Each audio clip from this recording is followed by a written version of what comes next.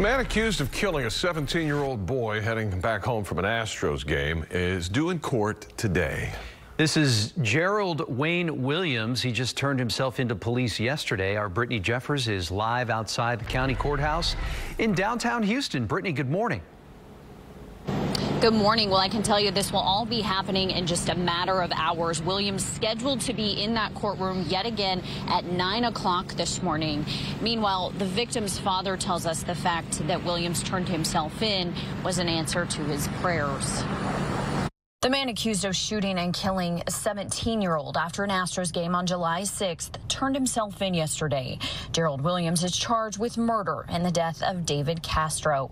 Records show that Williams had just gotten out of jail in February of last year after spending more than 12 years in prison for three counts of aggravated robbery with a deadly weapon. Williams was out on parole until October of last year, and now, less than a year later, he's charged with murder. There's no, there are no words in the English language, nor should there be, to describe the pain that we're going through right now. For Paul Castro, the heartache continues in the loss surrounding his son.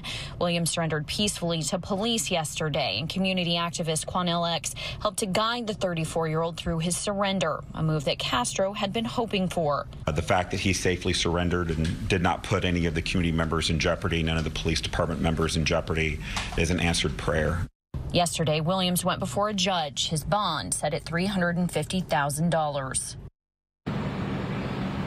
And we do want to mention that prosecutors did not specifically ask that bail not be set for Williams. Instead, they asked that judge give Williams, or excuse me, not be given a personal recognizance bond. Now, that is a decision that the judge granted. Again, he'll be in the courtroom this morning at 9 o'clock. Reporting live in downtown Houston, I'm Brittany Jeffers, KPRC 2 News. Brittany, thank you.